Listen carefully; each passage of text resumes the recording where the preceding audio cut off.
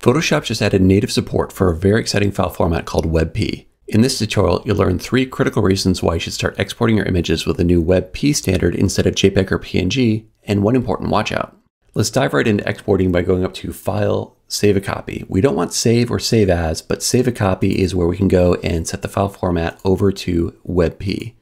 If you don't see this, you either need to update your version of Photoshop or check that you're inside the Save a Copy dialog. We can then choose our name, and we always want to embed the color profile. And then click Save where we get the options for WebP. And in here are two of the main benefits of this format. The first is that we can use a lossless format, meaning that there is no JPEG artifacting whatsoever. We're just saving this image exactly like an 8-bit TIFF. It doesn't support 16-bit, so this will be converted to 8, but for outputting to the web, that's perfectly fine, and there's no loss of quality as an 8-bit image. The second benefit here is we can also switch over to a lossy format, meaning we can compress the image and at higher levels of quality, we should get an image which is going to be a very nice looking image, but considerably smaller. And what's important here is that at some setting here, these are not directly comparable to JPEG, but an 80 quality here in WebP is some quality in JPEG. And when you output an image that matches the quality, what you're going to see is that the file size of WebP is actually quite a bit smaller. So this is the second benefit of this file format is that you can retain the same quality and get a smaller file. Or conversely, if you've been sacrificing your quality in order to shrink your files when you put them on your website or send them over email, you can get that quality back within a file size that works for you. And then we also have options for including XMP metadata like keywords, EXIF metadata like your uh, camera shutter speed, and then Photoshop extras like uh, paths, guides, and that sort of thing. So I'm going to include all these. I'm going to set this to high, which is 75 quality. And generally speaking, I would say between 75 and 100 lossy is probably what you should choose. Lossless if you need it, or you can take the lossy down to about 50, but there will be some noticeable loss of quality below about 75 for most images. So we'll just choose 75 here, say OK, and the image has already been saved as WebP, which notice that is visible in the Mac operating system. So we have native support so very handy file format to work with. The next benefit of this file format is that it also supports transparency. So if we take our image and if I just quickly, let's say roughly select the sky, invert that and put a layer mask so that I've made this background more or less transparent. It's not a good job, but let's say we're trying to hide this because it's going to overlay something else on our website and we want to preserve transparency. Well, if you were to save this as a JPEG, it's just going to convert all these transparent pixels to white. But with WebP, we can actually save it and preserve our transparency. So we'll save a copy, we'll switch over to WebP, save, we're going to replace our existing image, and I'll just choose the same option, say OK, and then we'll see here it's been updated. It does show with a transparent background here just because that's the way that things get previewed in the Mac operating system. But if we double click it, it's going to open our WebP image and you see that we do have our transparency. So this is really nice because if you're using PNG to get transparency for images you've cut out of products on your website or something like that, this is going to give you a much smaller file size, but still let you work with the transparency you can't get inside of JPEG. I'm going to go ahead and get rid of this mask. I should just delete it and just show you another way you can export this. If you're working with Web Sharp Pro, you can just go into the settings and I'm also going to turn on the new border options for a secondary border. We go over to general and set the file format over to WebP. It's now natively supported in Web Sharp Pro. Click on sharpen and it will run the whole process and save for us here as a WebP image. And you can see it's been exported with a new dual border with a thin stripe around the image and the thicker black border that I wanted, but as a WebP that's going to help save on file size. So let's close that and take a closer look now at a couple comparison images I've already created. What I've done is I already processed these two images a couple different ways. Let's start with the same image here. And what I've done is I saved it as a TIFF, and then I saved it as a WebP lossless and all these other file formats, and then put everything into the same layered file so we can directly compare these. And I've ordered them so that the biggest file is down on the bottom. You can see the file size in parentheses and then it gets to smaller files as we go up the stack. And the color coding is my representation of quality. Green meaning that I see no difference between the original and any of these here. These are all very high quality exports. The ones that are showing in yellow are a little bit lower quality, and we'll get to this image here where there's some further degradation in these ones that are marked orange. So with this image here, We've got the original 8-bit TIFF that I saved because this was a 16. I converted to 8 and saved as a TIFF for comparison.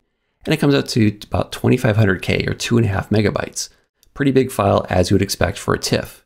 When I saved it as a lossless image, there's no visible change in this image, but it's now down to 1800K. So it's a nice file savings over the TIFF, but at the exact same quality. Not similar, but the exact same pixel for pixel quality. We can zoom in here, turn this on and off, and there's no difference at all because it is completely lossless.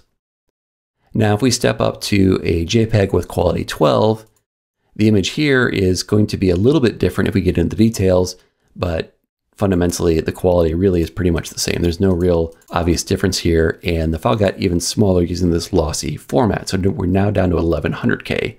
So this is definitely a case where I would say you don't need lossless. Let's go ahead and lose a little quality and shrink the file further. Then the next one is WebP at 100 quality, and here you see that the image again is, you know, there's little differences in the wood here, things like that, but it's pretty much the same thing. And we're zoomed into 800%. So if we go back to anything reasonable, even at like 200%, you're just not going to see a difference here. So I would say that, you know, these are really pretty much the same image. And in doing this, we've gone from 1200K down to 600K with a WebP. So it's gotten to be about half the file size with excellent quality. Then, of course, JPEG 10 quality is getting even smaller down at 492K, and it's really not showing any real difference either.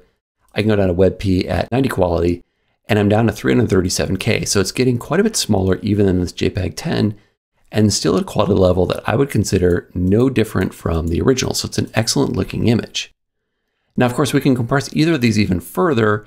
Once we get down to JPEG quality 8, I feel like there's some important differences. You might not. You might feel it's okay, but see, we've got all this JPEG artifact here.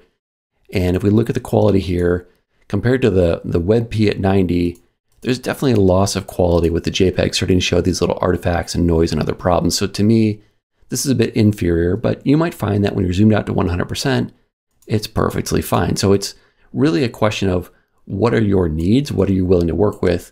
But I would say that for me, this is more optimal. There's really no loss of quality. Even if you pinch and zoom in on a website, you're not going to see any issues here.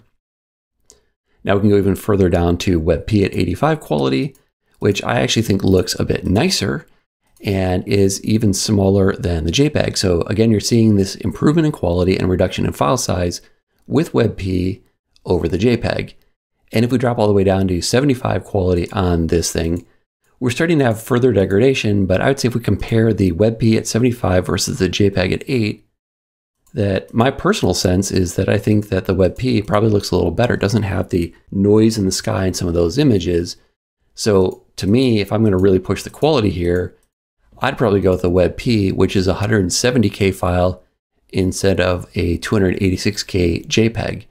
So you can really get these down to nice small files. And this begs the question well, why not just use WebP all the time? And that's what brings us to the caveat that I want to share. And this is kind of an obscure and interesting thing that happens with WebP. Watch what happens to the quality of this virgin sign here and here with these high frequency color, meaning that the, the color is very small and rapidly changing. Now, with the lossless, there's no change. With the JPEG, there's no change. With the high quality JPEG, there's no change.